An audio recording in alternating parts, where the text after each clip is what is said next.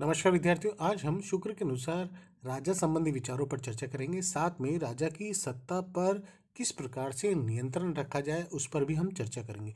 शुक्र के अनुसार राजा का राज्य में सर्वोच्च स्थान होता है। वह राज्य का नेतृत्व करता, संचालन करता, न्याय की स्थापना करने वाला होता है। राजा का राज्य में वही स्थान है, जिस प्रकार शरीर का, शरीर में मस्तिष्क का होता है। शुक्र ने माना कि राजा में देवताओं के गुण होते हैं, वह देवता तुल्य होता है। राजा जो दुष्टों का संहार करता है, प्रजा का पालन करता है, राज्य में न्याय की स्थापना करता है, राज्य की सर्वोच्च शक्ति राजा के हाथों में होती है, वह राज्य का संप्रभु होता है। राज्य का नेतृत्व करता, संचालन करता, समस्त नीतियों का नियंत्रण करने वाला, संचालन करने वाला, व्यवस्था करने वाला होता है। राजा में इंद्र पवन, यम, सूर्य, अग्नि, वरुण, चंद्र, कुबेर आदि देवताओं के गुण होते हैं। वह इन गुणों की राजा में प्रधानता होती है। लेकिन शुक्र के अनुसार सभी राजा देवताओं के गुण वाले व्यक्ति नहीं होते हैं। शुक्र ने माना कि जिस राजा में सत्व गुण की प्रधानता होती है, वह देव तुल्य होता है। राजा जो राज्य की संपूर्ण शक्ति का नेतृत्व करता होता है, समस्त शक्तियाँ राजाओं के हाथों में होती है। राजा के गुण शुक्र के अनुसार राजा में देवताओं के गुण होते हैं, वह देवतुल्य होता है। राजा बुद्धिमान, साहसी, मर्यादित होता है। राजा को काम, क्रोध, मोह, माया मद आदि से दूर रहना चाहिए।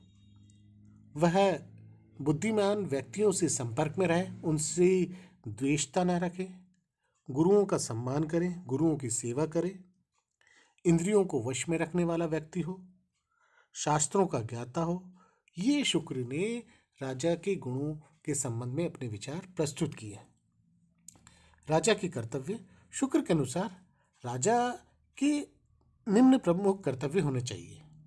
वह प्रजा की रक्षा करें, प्रजा का पालन करें राज्य में न्याय की स्थापना करे, दुष्टों का नाश करे, यज्ञ करे, शत्रुओं को, शत्रुओं का नाश करे, सेना को अधिक से अधिक शक्तिशाली बनाए। राजा की दिनचर्या, शुक्र ने कौटिल्य के अनुसार राजा की दिनचर्या का वर्णन किया है। शुक्र ने माना कि राजा की कठोर दिनचर्या होनी चाहिए। राजा कि प्रातःकाल से लेकर रात्रि काल तक कब, किस प्रकार से कौन सा कार्य, वो दिनचर्या अनुसार होना चाहिए। शुक्र ने माना कि राजा की जो दिनचर्या है, वह 48 मिनट के अनुसार 30 मुहूर्तों में बटी होनी चाहिए। प्रत्येक दिन राजा की जो दिनचर्या है, वह 30 मुहूर्तों के अनुसार होनी चाहिए और ये 48 मिनट के अनुसार होनी चाहिए। और इस मुहूर्त के अनुसार 30 मुहूर्तों के अनुसार राजा को कब किस प्रकार से कौन सा कार्य करना है, वह कार्य का विभाजन शुक्र ने किया है। और ये जो दिनचर्या है, वह अत्यंत कठोर दिनचर्या के रूप में शुक्र ने प्रस्तुत की है।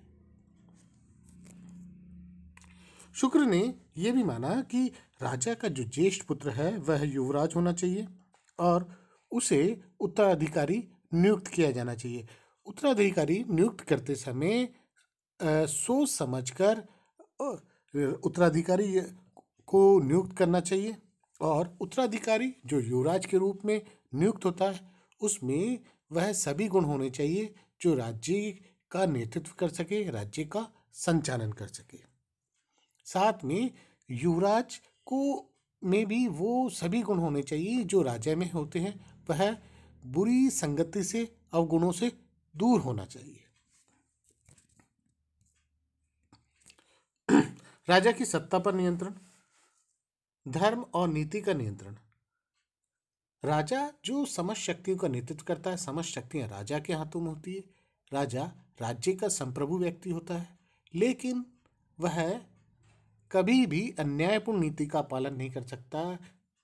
अब राज्य की शक्ति को, का गलत उपयोग नहीं कर सकता। राजा की इस शक्ति पर नियंत्रण की व्यवस्था की गई है और जी, ये नियंत्रण विभिन्न प्रकार से, विभिन्न प्रकार की जो व्यवस्था है, उनके अनुसार राजा की इस शक्ति को सीमित व नियंत्रित करने का कार्य करती है। उन व्यवस्थाओं में धर्म और नीति का नियंत्रण, राजा जो राज्य में धर्म का पालन करने वाला प्रमुख व्यक्ति होता है, धर्म की स्थापना करने वाला व्यक्ति होता है, वह धर्म के अनुसार पूजा, पाठ, यज्ञ हवन करता है, धार्मिक अनुष्ठान करता है, नीति का पालन करता है और वह नीति विरुद्ध कोई भी काम नहीं करता है। अतः धर्म और नीति राज्य राज्य में उसे कभी भी किसी भी प्रकार से ऐसा कोई कार्य नहीं करने देती है जिससे कि वह सत्ता का गलत उपयोग कर सके, सत्ता का दुरुपयोग कर सके। अतः ये धर्म और नीति राजा को गलत कार्य करने से रोकती हैं। शासक पर वित्तीय नियंत्रण। राजा, जो राज्य का नेतृत्व करता है, समस्त कोष का नेतृत्व करता है, उस कोष का उपयोग वो प्रजा के कल्याण के लिए करता है। प्रजा की रक्षा के लिए करता है, राज्य की रक्षा के लिए करता है। अतः वह कोष को गलत तरीके से, अनावश्यक रूप से भरने का कार्य नहीं करता है, कोष का जो उपयोग है सही रूप से करता है और कोष के लिए जो कर नीति है, वह सही उद्देश्यों को लेकर संचालित करता है। कोष को भरने के लिए कोष को अधिक से अधिक संग्रहण करने के लिए वह ऐसा कोई कार्य नहीं करता है, जिससे कि अन्यायपूर्ण नीति का पालन हो और जनता को कष्ट पहुँचे। मंत्रियों व सभासदों से परामर्श। राजा जो भी कार्य करता है, वह मंत्रियों, योग्य अधिकारियों, सभासदों के परामर्श करता है। राज्य में राज्य की सहायता के लिए योग्य मंत्री होते हैं योग अधिकारी होते हैं, सभासद होते हैं और राजा जो प्रत्येक कार्य करता है, वह इनके परामर्श से करता है। राजा समय, आवश्यकता परिस्थिति अनुसार मंत्रियों से, योग्य अधिकारियों से, सभासदों से परा, परामर्श करता है और शुक्र ने माना कि मंत्रियों को, अधिकारियों को और सभासदों को परामर्श निर्भीकता से देना चाहिए और राजा को इनके परामर्श अनुसार कार्य करना चाहिए। जब राजा इनके परामर्श से कार्य करता है तो निश्चित तौर पर वह ऐसा कोई का, काम नहीं करेगा जो अन्यायपूर्ण होगा। जनता व जनमत का नियंत्रण।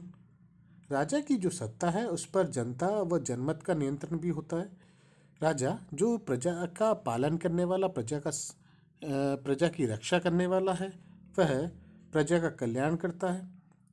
राजा, जनता पर कभी भी किसी भी प्रकार से ऐसी कोई नीति का पालन नहीं करवाता है, जो अन्यायपूर्ण हो, अत्याचारपूर्ण हो। राजा, कभी भी अन्यायपूर्ण कार्य नहीं करता है। यदि जनता के विरुद्ध वह अन्यायपूर्ण नीति का पालन करता है, अत्याचार करता है जनता से अनावश्यक कर वसूल करता है तो निश्चित तौर पर जनता राजा की निंदा कर सकती है और वह जनता राजा की आलोचना भी कर सकती है। अतः राजा इस बात पर विशेष ध्यान रखता है कि उससे जनता की का अधिक से अधिक कल्याण हो, वह राज्य जनता के विरुद्ध कभी भी ऐसा कोई गलत कार्य नहीं कर सके। राजा के व्यक्तिगत गुण व दिनचर्या।